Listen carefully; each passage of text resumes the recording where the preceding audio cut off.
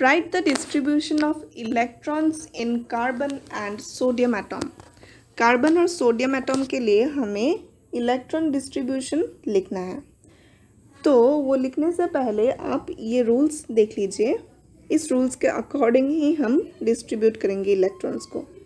So the following rules are followed for writing the number of electrons in different energy levels और shells पहला rule है The maximum number of electrons present in a shell is given by the formula twice n square where n is the orbit number or energy level index and 1 to 3 hence the maximum number of electrons in different shells are as follows तो जो maximum number of electrons present होंगे एक shell में वो हम किस formula से calculate करते हैं ट्वाइस एन स्क्वायर तो अब देखिए फ़र्स्ट ऑर्बिट जो है, उसे हम के शेल के नाम से भी जानते हैं। तो के शेल में ट्वाइस एन के जगह में हम वन लिखेंगे। So two into one square one हमने क्यों लिखा है? क्योंकि ये हमारा फ़र्स्ट ऑर्बिट है। सेकेंड ऑर्बिट और एल शेल के लिए हमने टू इंटू टू स्क्वायर किया तो हमें एट मिला। थर्ड ऑर्बिट और M shell eighteen fourth orbit और एन शेल के लिए थर्टी टू तो यानी कि के शेल में मैक्सिमम टू इलेक्ट्रॉन्स फिल हो सकते हैं। एल शेल में मैक्सिमम एट इलेक्ट्रॉन्स फिल हो सकते हैं। एम शेल में maximum eighteen and N shell में maximum thirty two and so on ऐसे ही कंटिन्यू होते रहेंगे। Second point the maximum number of electrons that can be accommodated in the outer most orbit is eight यानी कि कोई भी एटॉम का जो आउटर मोस्ट ऑर्बिट होगा उसमें maximum number of electrons eight ही हो सकते हैं। आउटर मोस्ट ऑर्बिट में एटीन भी नहीं हो सकते थर्टी टू भी नहीं हो सकते, ठीक है? तो अगर आउटर मोस्ट ऑर्बिट का आपको कैलकुलेट करना हो तो उसमें आप कोई ध्यान रखिएगा कि वो एट से एक्सीड नहीं कर सकता। थर्ड पॉइंट है electrons are not accommodated in a given shell unless the inner shells are filled that is the shells are filled in a step wise manner यानी कि अंदर के शेल्स को आप फिल किए बिना बाहर के शेल्स को फिल नहीं कर सकते। तो यानी कि पहले आपको के शेल फिल करना पड़ेगा, फिर L then M then N इस ऑर्डर में आपको प्रोसीड करना पड़ेगा। आप के शेल को फिल अप किए बिना एल या फिर एम शेल को फिल नहीं कर सकते, ठीक है?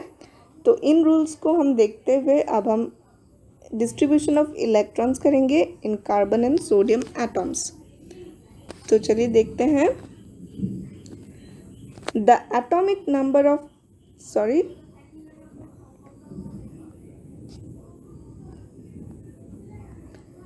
the atomic number of carbon is six so we have to accommodate six electrons in the energy shells तो हमें पता है कि एटॉमिक नंबर जो होगा, वो equal to number of protons and equal to number of neutrons होगा atom के लिए राइट तो हमें कार्बन का एटॉमिक नंबर मालूम है सिक्स यानी कि उसमें सिक्स इलेक्ट्रॉन्स हैं। तो अब हम सिक्स इलेक्ट्रॉन्स को कैसे डिस्ट्रीब्यूट करेंगे? चलिए वो देखते हैं। So we have to accommodate six electrons in the energy shells the first orbit और the K shell can accommodate maximum two electrons so two electrons will be given in K shell यानी कि हमने ऊपर calculate किया था कि के shell जो है वो मैक्सिमम टू इलेक्ट्रॉन्स एकोमोडेट कर सकते हैं। तो टू इलेक्ट्रॉन्स हम के शेल को दे देंगे। बाकी रह गए सिक्स में से टू हमने दे दिए तो बाकी रह गए फोर तो के के बाद कौन सा सेल आता है? के के बाद सेकेंड सेल आता है L shell so the next shell और the L shell will be occupied by the rest four electrons since L shell can accommodate a maximum of 8 electrons. 2 8 18 32 ये ऑर्डर था हमारा के एल एम एन के लिए। तो हमने के का मैक्सिमम इलेक्ट्रॉन्स दे दिए के को। अब बचे हमारे पास फोर तो हम जानते हैं कि एल शेल में मैक्सिमम एट इलेक्ट्रॉन्स हम दे सकते हैं। तो हमारे पास अगर फोर है, हम तो चारों इलेक्ट्रॉन्स जो है, वो हम एल शेल को दे सकते हैं। तो हमारा जो डिस्ट्रीब्यूशन होगा, वो होगा के में दो और एल में चार। सेकेंड हम सोडियम के लिए करेंगे। The atomic number of sodium is eleven तो अगर एटॉमिक नंबर सोडियम का इलेवन है तो उसमें प्रोटॉन्स भी इलेवन है और इलेक्ट्रॉन्स भी इलेवन है। तो अब हम इलेवन इलेक्ट्रॉन्स को डिस्ट्रीब्यूट करेंगे इन के एल एम एन एन तो देखिए, we have to distribute 11 electrons in different energy cells. Since K shell can accommodate maximum 2 electrons, K shell will be occupied by 2 electrons. तो K shell में maximum हम दो ही दे सकते हैं तो इसलिए हम पहले K shell में दो electrons fill कर देंगे Then हमारे पास बच गए नौ electrons. अब हम नौ electrons को distribute करेंगे L shell will be occupied by eight electrons तो हमें पता है कि सेकेंड या फिर एल शेल में भी मैक्सिमम एट इलेक्ट्रॉन्स ही दे सकते हैं तो हम जो नौ में से आठ बच गए। आठ इलेक्ट्रॉन्स को हम एल शेल में दे देंगे।